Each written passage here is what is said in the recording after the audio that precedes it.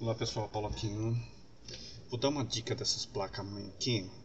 Gente, toda vez que você tiver uma placa mãe dessa da ASUS H81, ela tem vários modelos, tá? Tem MK, tem A/BR, CSR, tem vários modelos, tá? Chipset é H81, então praticamente eu vou colocar a, a especificação da tua placa. Esse vídeo é da H81M-A/BR.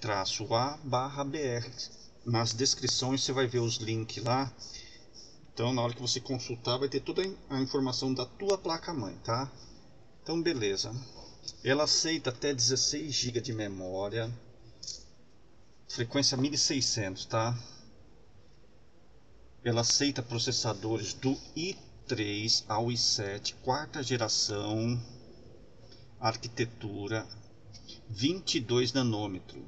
E aceita o Xeon também até o E3 1285 versão 3 tá? É 85 watts os Xeon. O i5 45 acho que 90 ele é 84 watts 84 watts o TDP então é isso aí pessoal.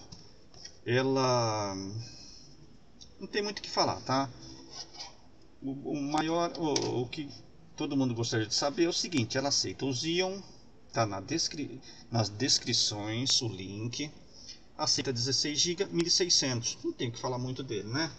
Então beleza, qualquer coisa se inscreve no canal e aí vocês vocês me dão uma ligada aí se precisar ou manda uma mensagem na, na nos comentários e eu respondo para você, tá? Então é isso aí. Obrigado, tchau.